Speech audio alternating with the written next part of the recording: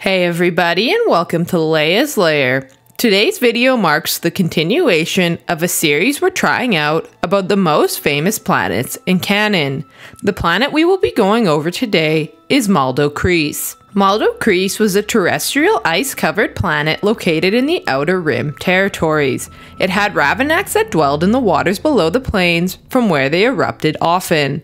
The planet also had canyons with caves below, home to ice spider nests and hot water baths. Maldo Kreis had a breathable atmosphere and a frigid climate. When viewed from space, Maldo Kreis had a light blue surface. Various structures populated Maldo Kreis' surface, including a port and a bar. At one location, a ferryman worked with land speeder pilots to provide transportation to customers for a fee. The port was known for having an issue with Ravanax, as crew would dump their grey holds out, which became a source of food for the carnivores. There were no known sentient species who hailed from Maldo Kreis.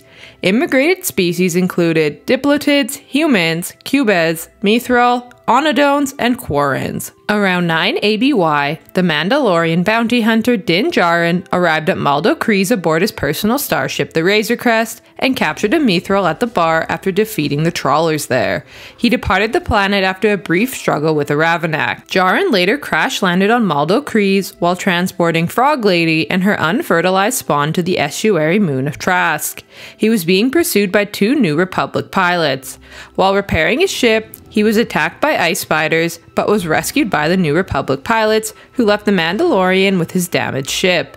Djarin thus departed the planet for his intended destination. Interested in learning about which planet you would come from? Check out one of my many quizzes here. And there you have it. Thanks for watching everyone. What do you think of Maldo Kreis? Do you know any other interesting facts about it? Let us know down below in the comment section. And remember to like, share, and subscribe to the channel for more great videos to come.